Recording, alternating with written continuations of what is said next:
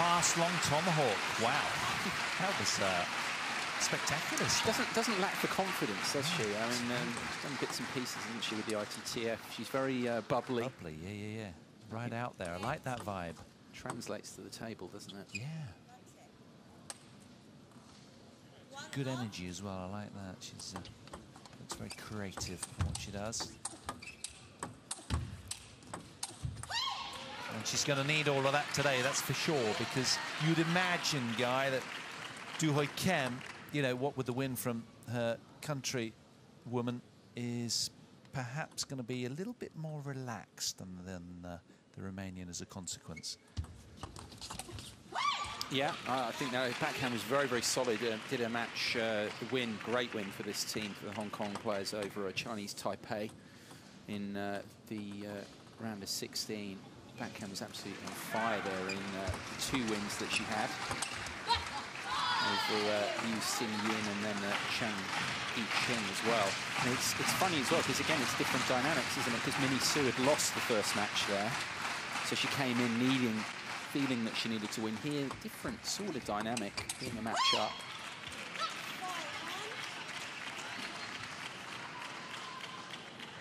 Yeah, she's certainly confident. The Hong Kong player, that's for sure. Seven wins, only one loss. And it's four and oh. So uh, you know this is this is a, a nice, juicy matchup in that regard. And, and as I say, you know, Szocs has beaten Doo Hoi twice in the past. And he uh, conceded three losses to her as well. So there, there, there's not a lot between them, both on world ranking and form.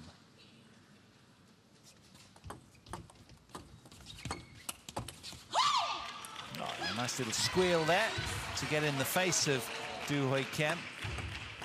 Yeah, opened up the opportunity here to uh, loop this one away, didn't she? Going hard there into the pocket.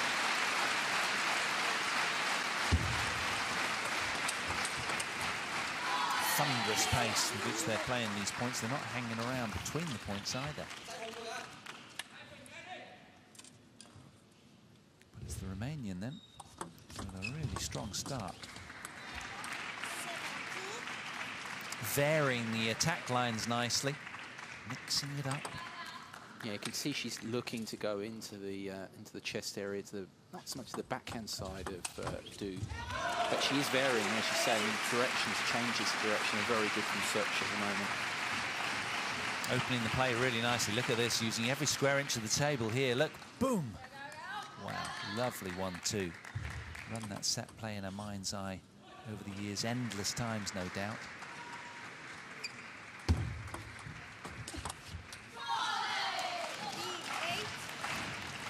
Well, we see that a lot, don't we? The acceleration of the backhand of the opening two players and the Hong Kong side. Vicious. Hinge so well from the elbow and the wrist. Yeah, you've got to get the push or the block. In some cases, absolutely right. See, that's the difference yeah, there. It's good length, good? Good length. That's it. Great looking at the previous point. That Szocs did a lot better there. And the players are so good, aren't they, as well? If you don't get those pushes absolutely right, short in the table, it's a good night. Yeah, I was talking to um, Dan from tabletennis.com, who I was working with the other day, and I'm sure you have. And it was really insightful. He said, if you're just a layman, you go up against, against, these guys, when you they hit the ball to you, it just springs off left or right. You have no control unless you sort of give it the equivalent back. So Szocs then, Bernie Szocs takes the opening game, and she's there's a spring in her step now. China to, to serve. Lavon. Start of game two. Look, did you see the stare down the table there from the ponytail frenzy Bernie Szocs.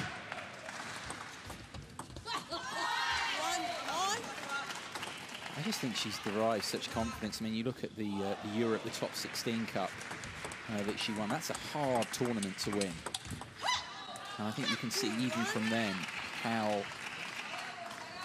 how much confidence that's given her. Because she's been a, been a part of this team for a while. We talk about their, their European Championship success and everything. But I mean, individually, to get a, a tournament like that, really good from, uh, from Doo You're talking about in the first game, isn't it? Paul? Just, just dropping in length slightly, mm. and it's pounced on. Yes, yes, quite, quite. As you were saying earlier, I mean, they're not playing, I mean, they're both fast players, both aggressive players. We don't have that variety there, but it, it comes down to lots of length. Mm this matchup. And the variety, you know, you've got to mix it a lot, haven't you? A player of such experience like Doo, and uh, absolutely, I'm with you. Incidentally, Romania had a very strong history in the women's event, winning the team event on five occasions, all in the uh, 1950s when it was held annually. Not so of late. Yeah, we're trying to figure out actually last time they won a medal at the World Championships. They've won they've won two silvers and two bronzes since that, that period you were talking about, where they won five of seven, I think, mm -hmm. in the 50s. Mm -hmm. uh, just trying to pin that down.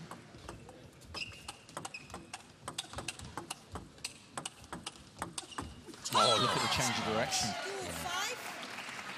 She got the pop-up receive as well, switch there, but could uh, not really take advantage of it. And Doo on the front foot, just pinging it so early.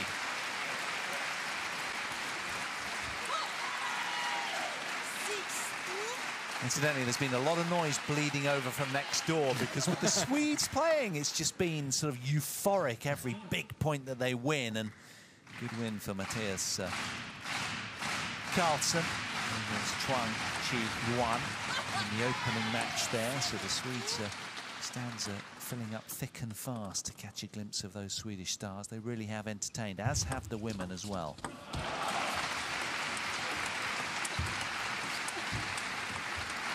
Now you sense here, Guy, that the tides are turning quite a lot when you not only look at the scoreboard, but you look at the sort of pink blur of neon that's just fizzing around all over the table and getting on top of the table a lot. Well, she's crucially, as we've touched on already. Oh, oh have some of that. that was ball-crushing stuff from Bernie Szocs there. Let's see it again. Flat and hard. Take that. No, I just think in this game, though, that, that swat notwithstanding, the last couple of points, it needs so much. It's as you said, it's just who can get on the third ball. It really is third or fifth ball, if you like, yeah. off the off the push, which invariably follows fourth ball. It's it's who gets that opportunity to get the strike in. in this particular matchup, both hitting the ball so well. Exactly, and they don't just break down for no reason, do they? You've got to Doo something proactive to make it happen. And that certainly is. That backhand of do is deadly. What she's looking to do there as well is you see such button always go, look to go forehand counter top spin, looks to just chop it back. And it's a tough shot to execute when it's hammered at you like that.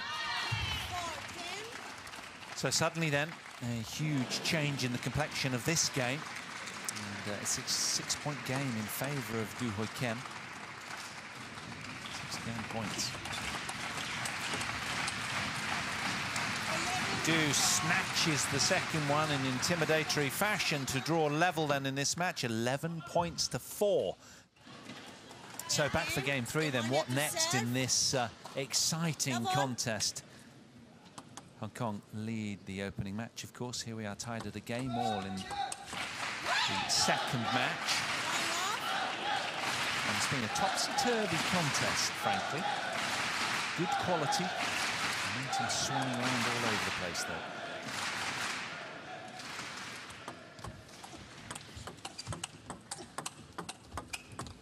Oh, that's lovely. The off backhand winner there. Tough to get a read on that one. Just uh, got the racket head inside the ball nicely.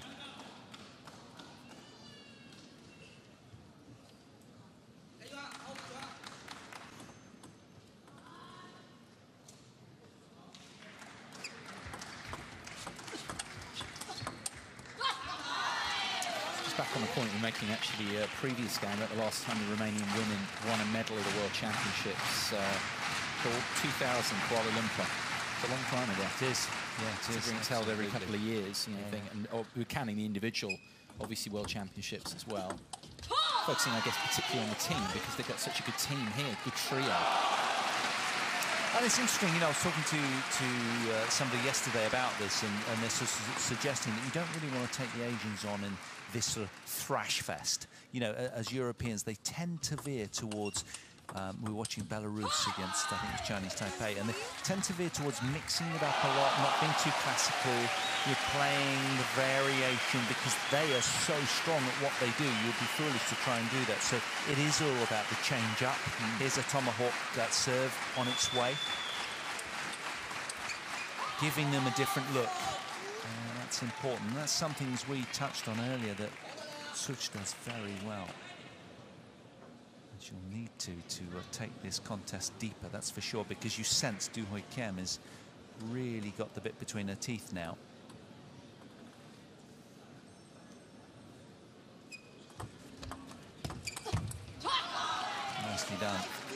Explosive off both wings.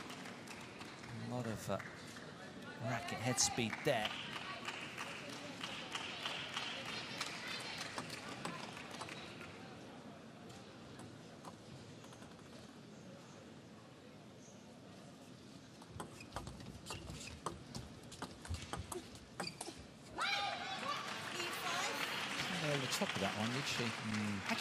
Actually she's able to get better third balls off her serve. I mean, Szocs's serves are being read a little bit more easily. Maybe that's part of the reason for this. As we said, it's it's about who can get that third ball attacking. Mm. Mm. You can handcuff the opponent to an extent with a good serve, clearly you're going to have a chance to do that. However, that's on return. It's, it's on a knife edge. Mm. Szocs's got more than enough ability to turn this round.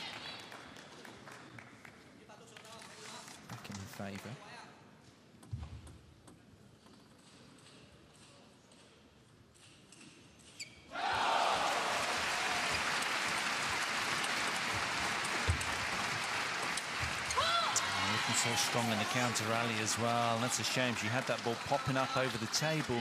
Didn't quite get the angle of the contact right. Engineered the point beautifully.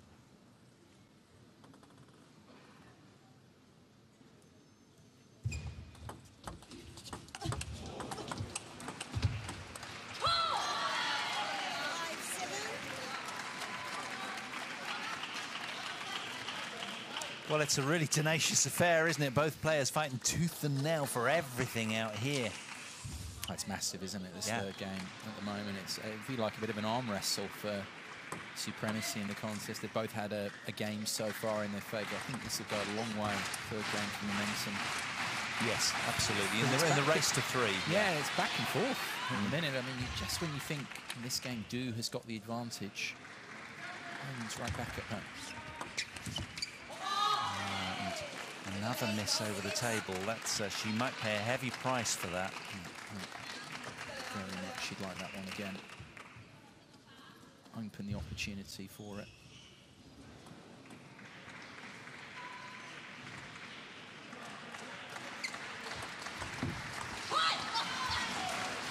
Reverse pendulum serve, doing the damage, oodling all over the table with spin.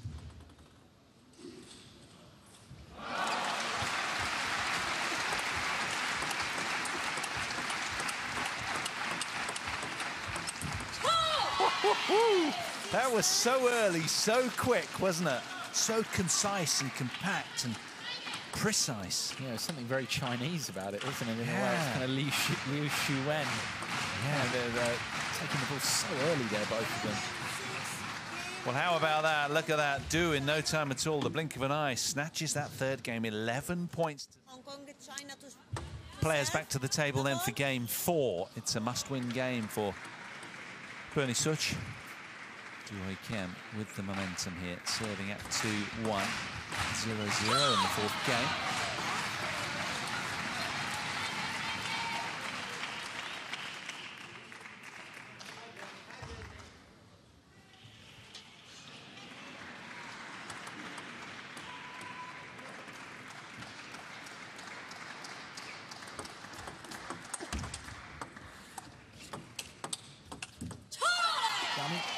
Find so impressive here because watched a lot of Doo Hoi Kem. First of all, that win over Chinese Taipei again here in this particular match is it's just this young team, how mm. mature they are. They don't get a bit, you know, got the, got the return wrong there, turn of service, but they don't get down on themselves. Mm. There's no real change in in body language. I think that with, with the other players as well on the team. And obviously you've got um, Lee Ho Ching there, who's older. But I think Minnie Soo is, is excellent as well at just 20. I think it's a great team that will be around for a little while. Mm. And I think like, what I love about the guy particularly is that I like their humility and the way that they support each other sort of, you know, unwaveringly. It really is quite warming.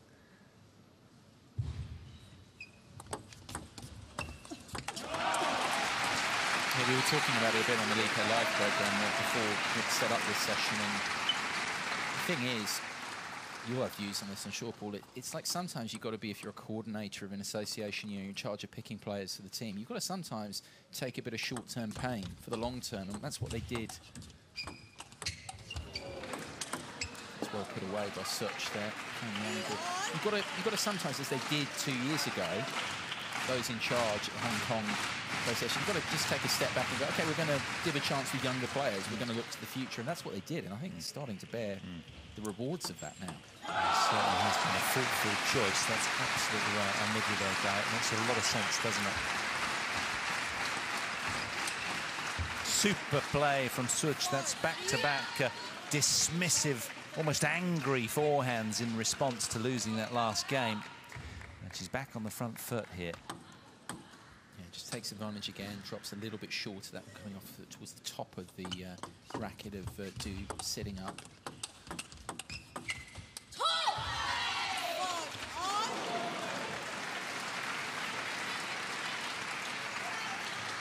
tell you what, Guy, it's quite distracting. I've almost got one eye on the other match at the same time. It's just such dynamic table tennis over there. And I don't mean that in any demeaning way at all, but there's so much happening here.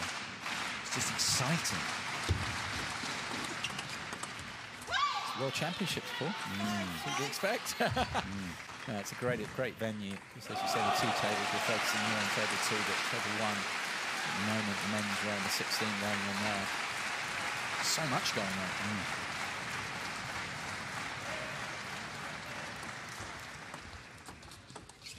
It was a really good push, wasn't it, there from uh, Szocs there. A bit of extra pace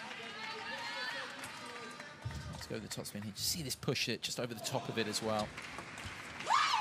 Very incisive. There's a lovely little squeal afterwards. I do love her body language. I think she's a good front runner because she kind of just, she's on you. She's, she's pushing you. She's teasing you into error, isn't she? You know. Oh, fantastic. He really is getting the upper hand quickly in these points. As you said, Guy, if you allow Doo to get on the front foot before Szocs, then it's problematic. But this is good from the European. Yeah, short game's been excellent in this mm. game. Really good pushing. It's building the pressure on Doo. That's not the sort of mistake you'd expect to make.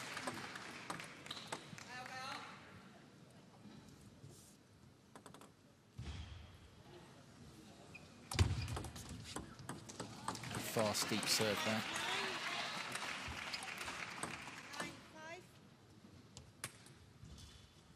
Couple of points from drawing level then and detaining the higher ranked player. Well, she went for it, she had to.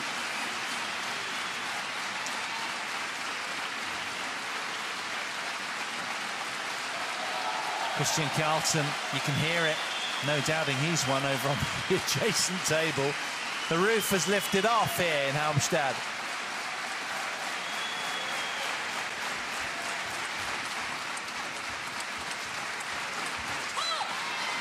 Two 0 up in the round of 16. The men against Chinese Taipei. Back here, this is a that was a big point there. Second of the, the two service points for uh, Szocs there at 9-6.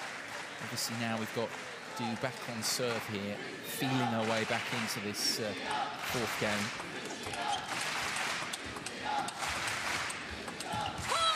Points that do derive, taking both the service points there. Yeah. The recovery.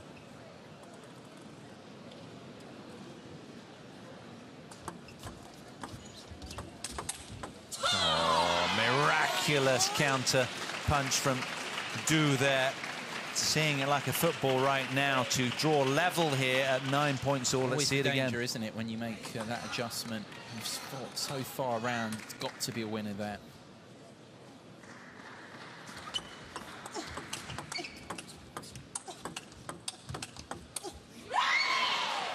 Like it.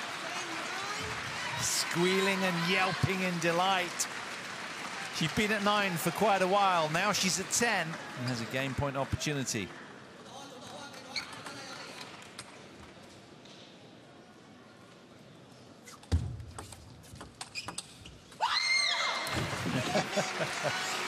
well, no doubting who won that game. We're going to be taking the distance here. We're going to be treated to a fifth and deciding game.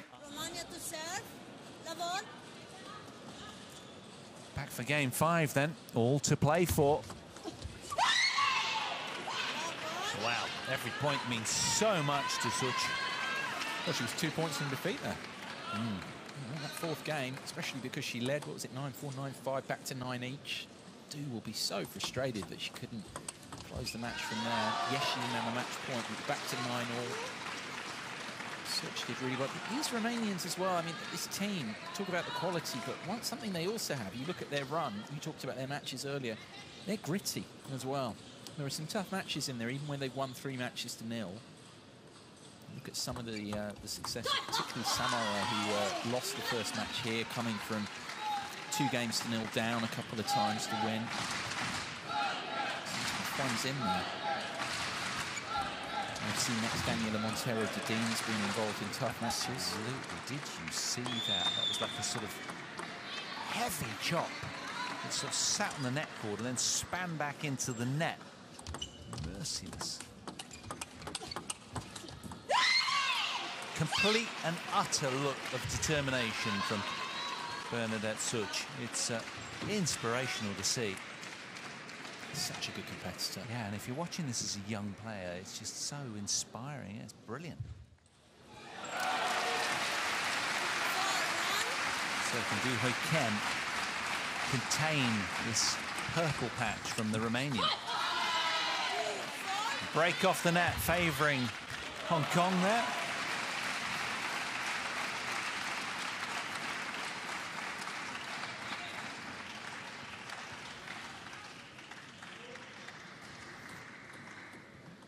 It's the importance timeouts, isn't it? Again, here we could be Mm, seeing just to break the momentum. There's nothing wrong with it.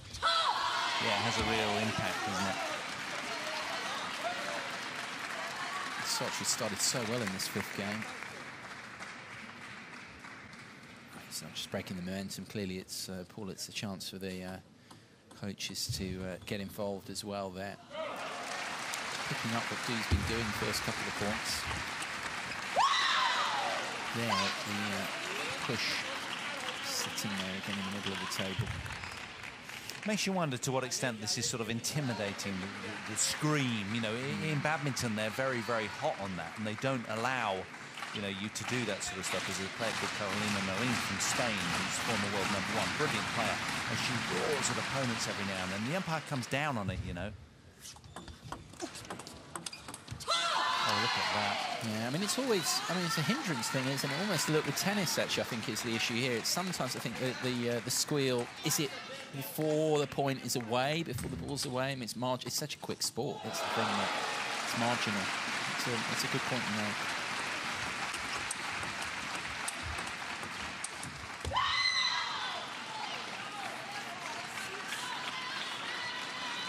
Another squeal of delight and approval from the Romanian. as She's uh, keeping a two-point lead here. Can she keep the higher-ranked Doo Hoi Kem off?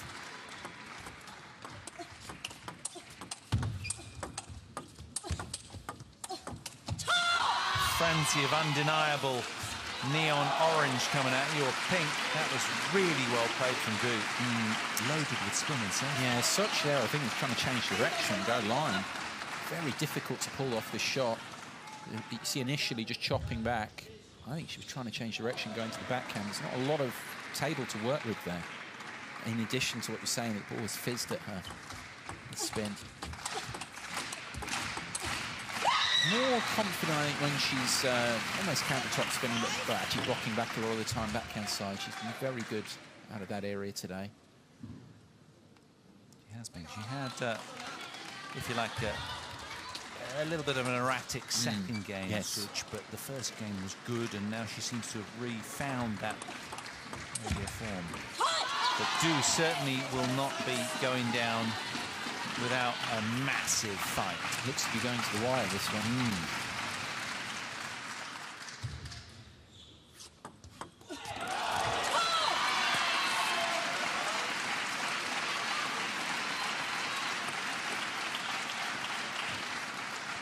Two in a row for Doo. Draws level at seven all in this deciding. Deadlock on the scoreboard now.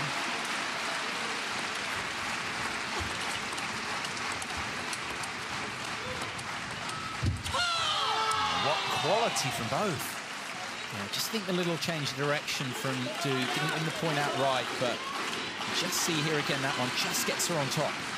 Able to really push through, extend with a, her next backhand to the other corner of the table. That was telling there.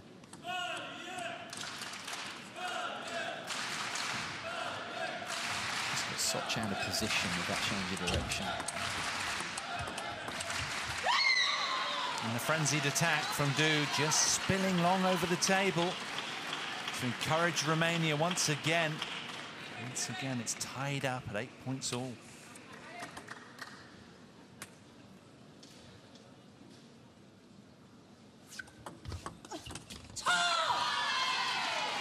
Fast long serve. Well read. It's landed on the edge of the table, right at the back portion of it. It's fine margins.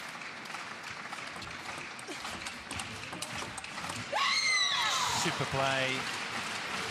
Fortune favouring the brave, that's for sure.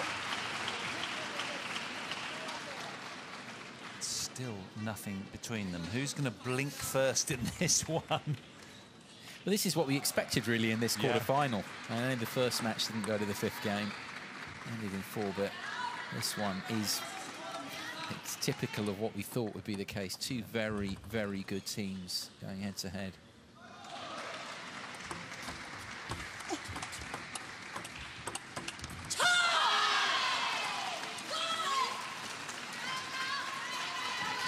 An exclamation point on that one from. Mm, there was, wasn't there? And suddenly, Doo Hoi Kem with a terrific penultimate rally has brought herself a match point opportunity here.